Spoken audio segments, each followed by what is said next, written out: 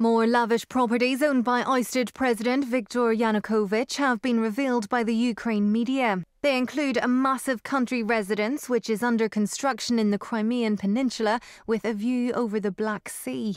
The five story house is reportedly three times bigger than the local youth hall, and nearby residents are angered that a number of endangered trees have been destroyed to make way for the property. I'm in complete shock about the trees. They're on the endangered species list, and it takes many lifetimes to grow them, and sometimes they can be completely eradicated.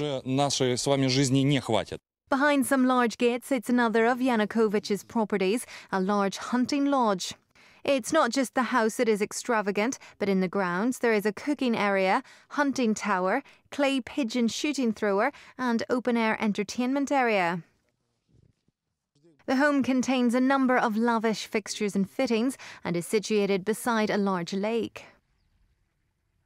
But it's not just expensive homes which the fugitive president reportedly has a taste for. Protesters claim this collection of high end luxury cars belong to his son.